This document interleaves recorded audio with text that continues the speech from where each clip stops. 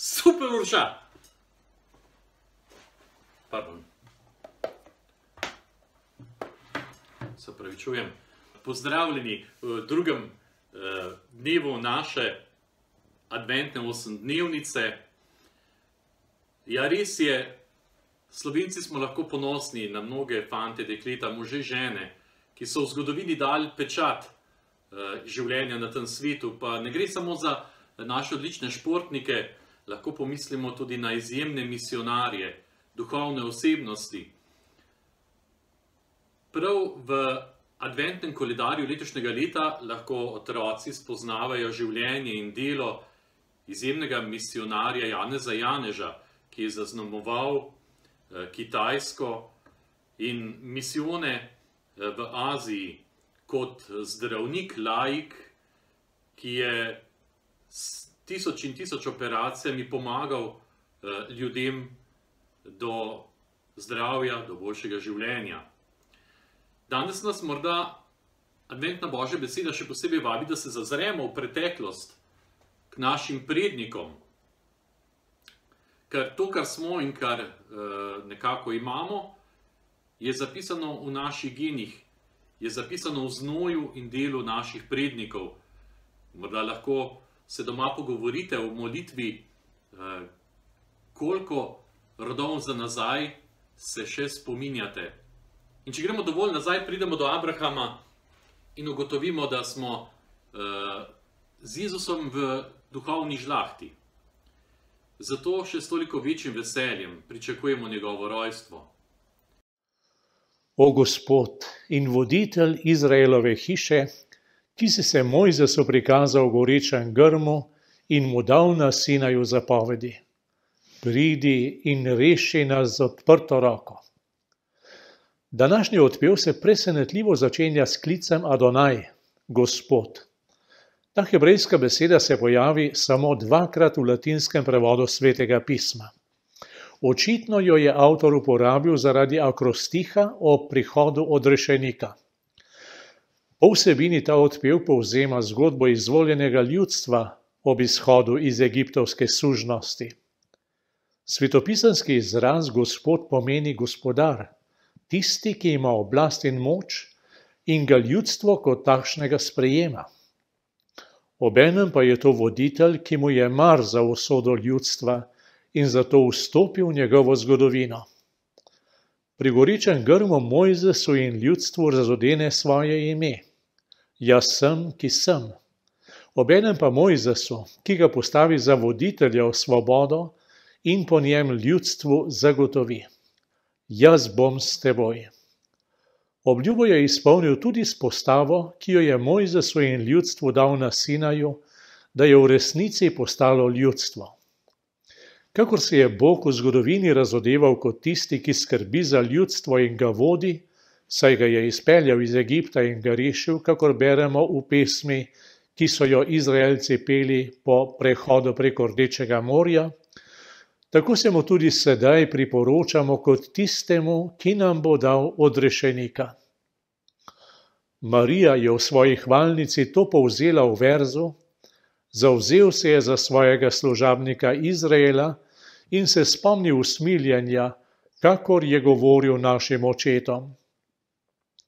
Kralja, ki prihaja, pridite molimo.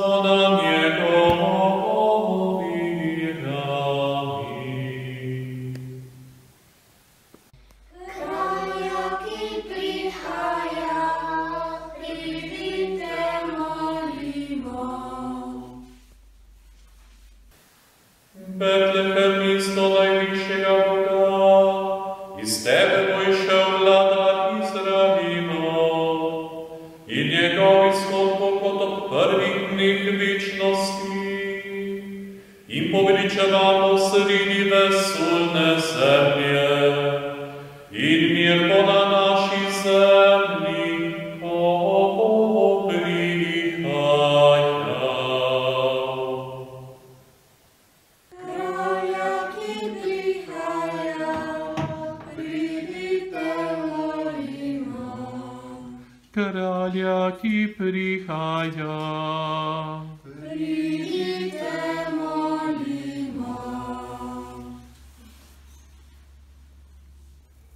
Послушайте все люди, среди людей.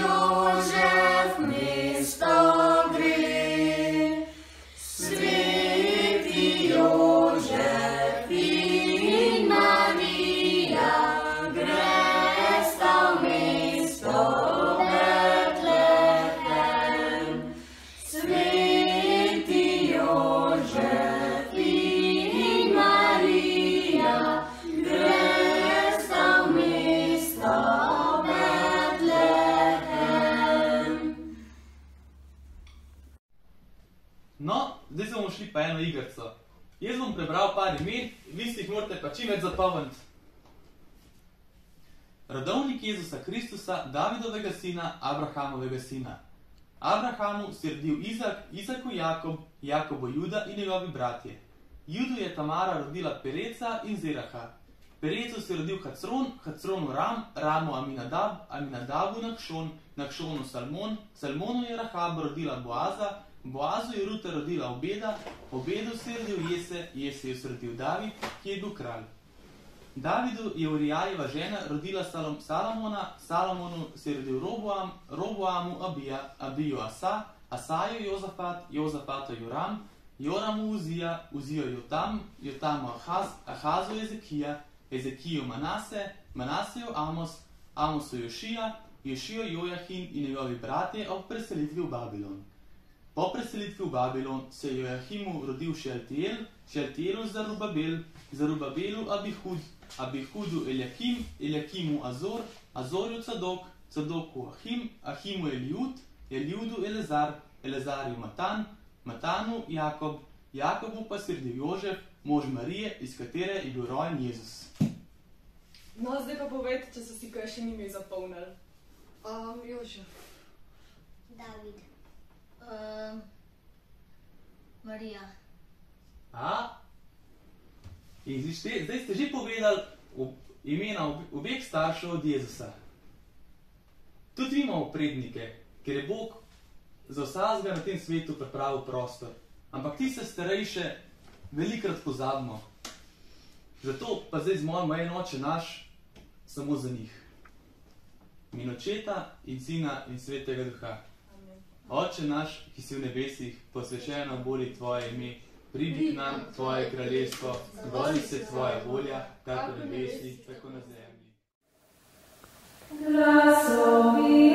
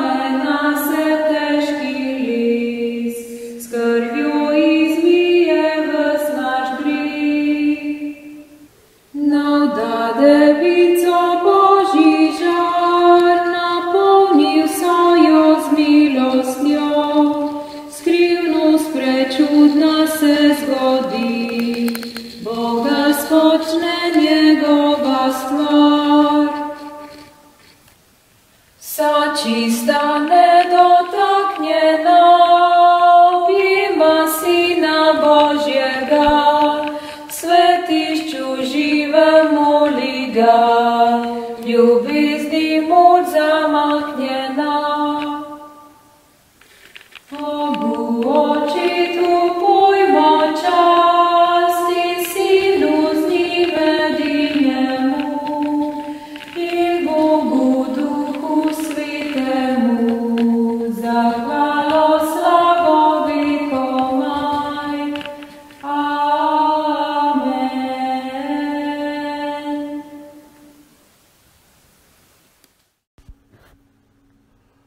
O modrost, ki si šla iz ust najvišjega, ki segaš od kraja do kraja, ter krepko in blago vse urejaš, pridi in uči nas pota razumnosti.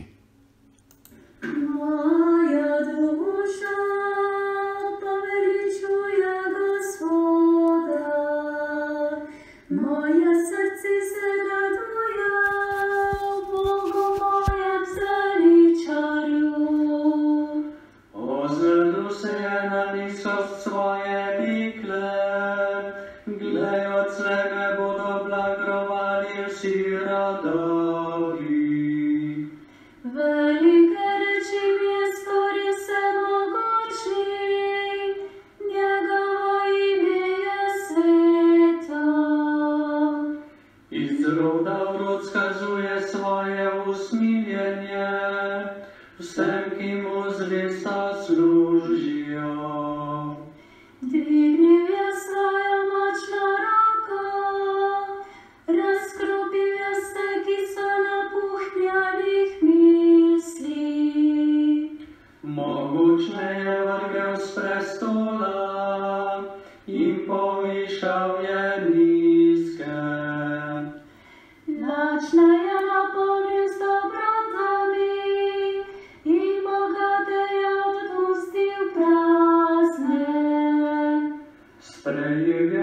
always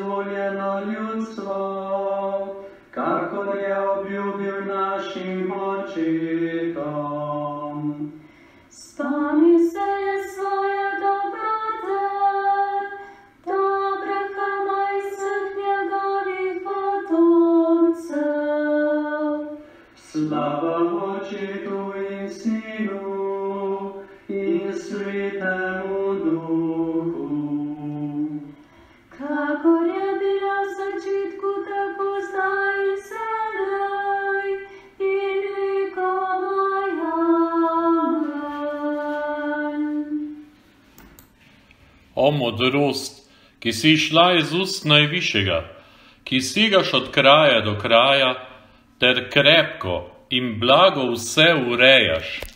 Pridi in uči nas pota razumnosti.